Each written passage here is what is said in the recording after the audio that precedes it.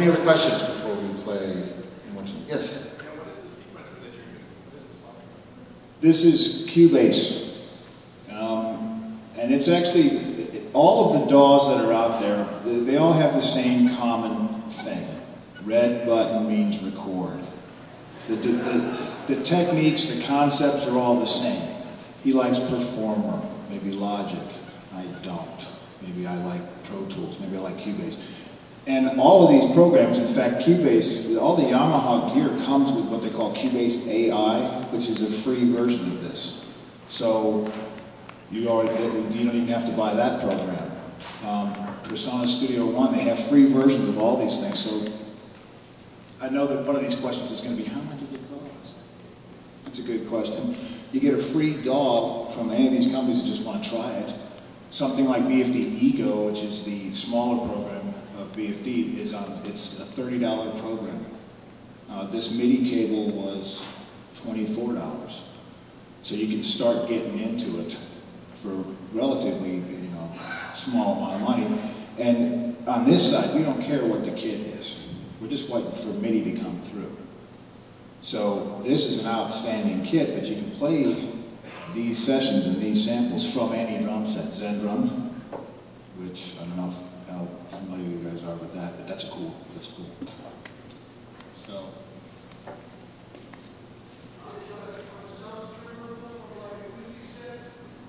Yes. That's going to be my short answer for everything. So, the, the, the answer, the question was, are these triggerable from an acoustic set? There's two ways that this works. You can buy acoustic drum triggers and plug them into a brain like this and generate the MIDI. You can also, inside of a, a digital audio workstation like this, there's a program called Drumagog. And this is very common for pop music.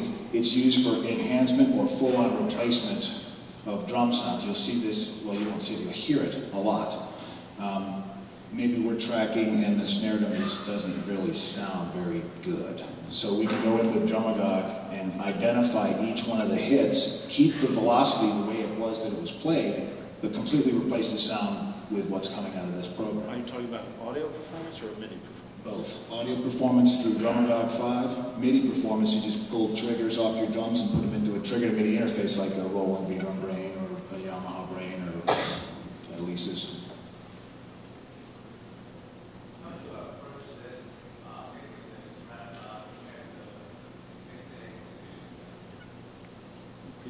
How do I how did I approach mixing this drum set as a, as an acoustic set as opposed?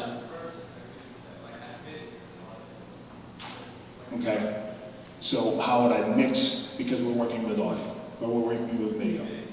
Okay, well the MIDI is generating audio. So once I've cleaned up the MIDI, it's I'm working with audio again.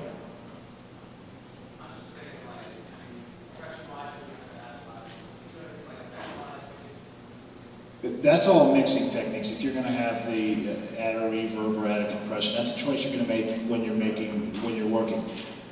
The reason you use a VST instrument like this is all those dynamics and all those articulations. That's where the difference comes in because everything starts there, and then you can start messing around. Like uh, he likes a, a, a, kind of the specific reverb tail that that happens in his monitor mix at his studio where we can just generate that. We can add the monitor, where we can add the reverb as an effect in the channel. Does that answer? Okay. Should we, uh, let's, we're going to wrap this up. We haven't, have we tried this yet? No, I haven't tried this yet. Why don't you start playing it? I was playing the piece of music. Um,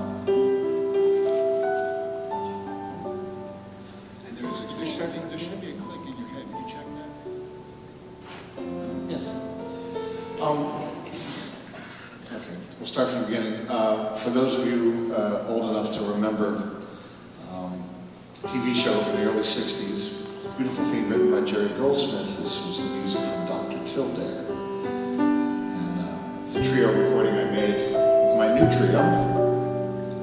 And uh, not tried playing to